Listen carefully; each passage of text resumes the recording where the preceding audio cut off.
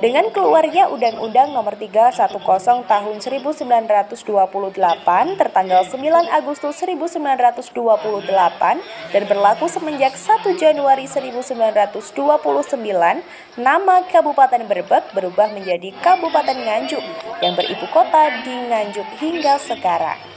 Alasan perpindahan tersebut lantaran letak geografis Kabupaten Brebek yang kurang strategis sebagai pusat pemerintahan. Selain letaknya berada di dekat lereng Gunung Wilis, juga jauh dari akses transportasi, sehingga menghambat perkembangan pembangunan dan perekonomian apabila pusat pemerintahan tetap dipertahankan di Kabupaten Brebek. Setelah Indonesia merdeka, peringatan Boyong Kabupaten Brebek ke Nganjuk tidak pernah dirayakan. Baru pada tahun 2023, tepatnya 6 Juni, pemerintah daerah Nganjuk merayakan dengan acara meriah. Ini setelah PLT Bupati Nganjuk Marhen Jumadi mengeluarkan surat nomor 188 garis miring 200 garis miring 411013 garis miring 2022 tertanggal 17 Juni 2022 tentang penetapan Hari Boyongan Pusat Pemerintahan dari Kabupaten Brebek ke Nganjuk. Artinya, setelah 144 tahun, hari bersejarah Boyong Nata Praja tidak diperingati oleh pemerintah daerah Nganjuk, baru diperingati kembali setelah PLT Bupati Nganjuk Marhin Jumadi menerbitkan SK peringatan Boyong pada tahun 2023 kemarin.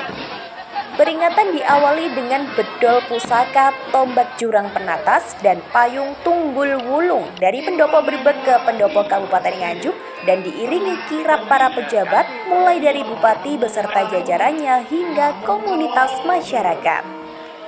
Momentum ini menyedot perhatian warga Nganjuk, menjadi hiburan dan kebanggaan tersendiri akan napak tilas sejarah besar yang pernah terjadi pada 144 tahun yang lalu. Dan hari ini berpindah di Kabupaten Nganjuk. Dan Oyong Noto Projo ini kalau menurut saya adalah bagaimana sejarah pemerintahan Kabupaten Nganjuk yang hari ini kalau kita peringati sudah 144 tahun kita melakukan pemindahan pemerintahan dari Brebek ke Nganjuk. Ini juga sebagai penanda untuk semangat di Kabupaten Nganjuk bahwa Kabupaten Nganjuk memiliki sejarah perkembangan pemerintahnya juga luar biasa dan melalui Boyong Noto Projo dan sedekah bumi ini juga merupakan wujud syukur masyarakat Kabupaten Nganjuk untuk menikmati kesejahteraannya, menikmati pembangunannya. Kepala Dinas Perabutpar Kabupaten Nganjuk Sri Handari Ningsi berharap Boyong Nata Praja mampu meningkatkan pendapatan daerah dari sektor pariwisata dan membangkitkan perekonomian kerakyatan.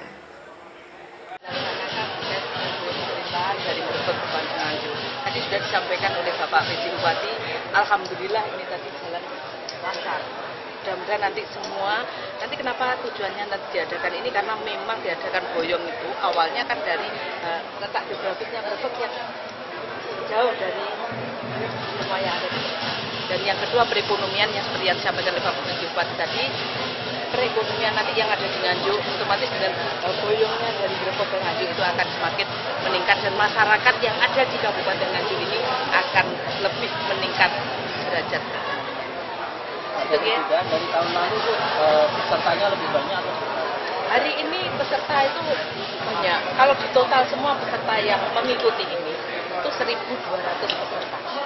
Kalau dari jumlah urutan itu memang tadi ada 91 urutan. Tapi kalau dilihat dari jumlah peserta itu 1.200 itu sudah cukup banyak juga untuk daripada tahun kalau tahun kemarin memang tahun pertama karena apa? Sesuai dengan SK PLT Bupati yang disampaikan tadi yang ditandatangani pada tanggal 17 Juni 2022 itu Boyong ini baru dilaksanakan yang kedua kalinya. Tahun 2023 kemarin dan 2024 ini tahun kedua melaksanakan Boyong kita karena memang SK PLT Bupati waktu itu eh, SK nomor 200 pada tanggal 17 Juni 2022 ini baru ditandatangani oleh Pak PLT eh, Bupati Nganjuk. Waktu itu Pak Kang Mahen yang menandatangani itu. Dan Alhamdulillah 2002 terlaksana yang pertama dan ini adalah terlaksana kedua. Walaupun ini adalah boyong yang ke 144 itu. Menjadi agenda tahunan Insya Allah akan menjadikan agenda tahunan pariwisata. ya, Pemkap istilahnya sudah begitu.